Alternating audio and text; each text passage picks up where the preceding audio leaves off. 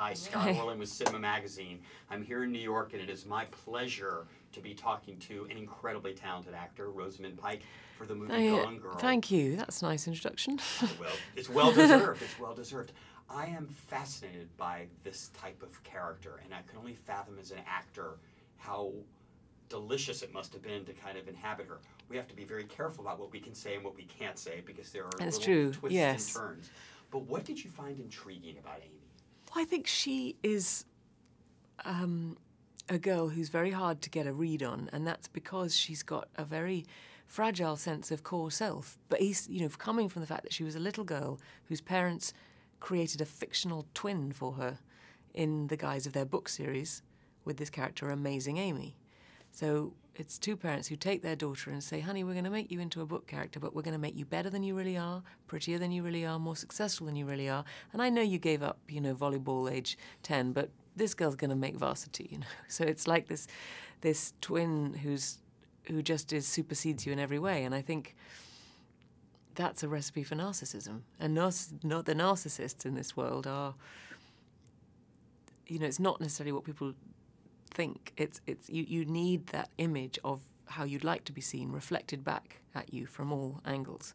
What's And fascinating too is, is David uh, has talked about one of the reasons that he was attracted to you, not Mm. only with your talent, but that when he found out that you were an only child, he thought Yeah. you would understand that there was something about you that would separate you from the other people.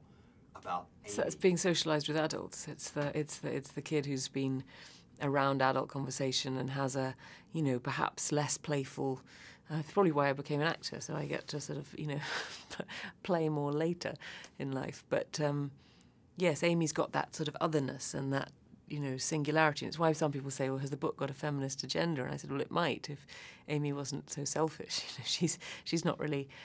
Out for anybody other than herself. You know, she's she's she's the only child who goes and does things all by herself. It's fascinating too, having read the book and now gone through the experience of the movie. When I talk to my colleagues, there's such a difference between what men perceive Mm. Oh, get there? out of it and what women get out of it. Okay. And I was just Explain. that I think that you know sometimes men like again I have to be really careful how I dance around this that men feel a little more scorned in a sense than maybe women do. There's a, a little more of a an empathy factor that maybe women Mm. have that maybe men don't. hmm And I was wondering what type of dialogue does a movie like this?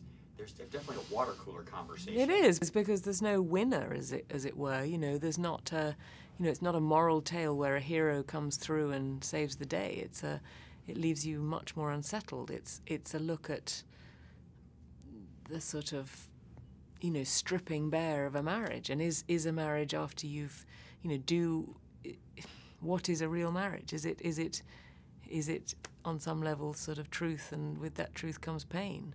Um, or is it, you know, always a performance? It's it, they're hard questions, and I guess men and women do take things differently. Um, I think, but they maybe they identify with both characters at certain points. I mean, there are certain men who I've spoken to who said I kind of identified with Amy at some points.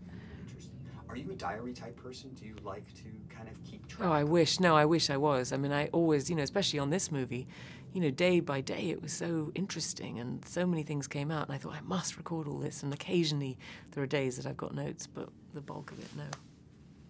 Have you ever been? I mean, one of the fascinating parts of the book is that Amy really, through a discourse of unfortunate events, has to move with her husband to an environment that she's really not Yes. adept in. Has there ever been a moment like that for you, where you've had to move somewhere where you're like, oh wow, this is not kind of where I want to be? Yeah, I mean, it's, it's interesting, isn't it? Because also with personality types, you know, the person in New York who is just, you know, ambitious and go getting, and that's totally normal. You put that person in Missouri, as happens to Amy, and suddenly she's uppity and, you know, uh, you know, aloof and, and competitive in a bad way. And it's the same thing that's positive in New York as might be a negative somewhere else. Um, I mean, I always feel a bit like I've been uprooted from my soul when I have to spend time in LA. You know, I feel, I feel like a real alien there, which probably also helped with playing Amy actually, because, you know, Amy has got that sort of, you know, hothouse flower out of, out of the incubator feel about her. Speaking of incubators, congratulations. thank you, And, thank you, look- thank I'm you. Sure, you know, baby number two. Congratulations. Baby number two, yes, coming in November. It's a good, good, good after this film to make a human being. I think, after I've created someone who, you know, is uh, not going to be liked by perhaps everybody. But a brilliant performance. Thank you. Thanks very you. much. Thank you. Really appreciate it. Thanks very much.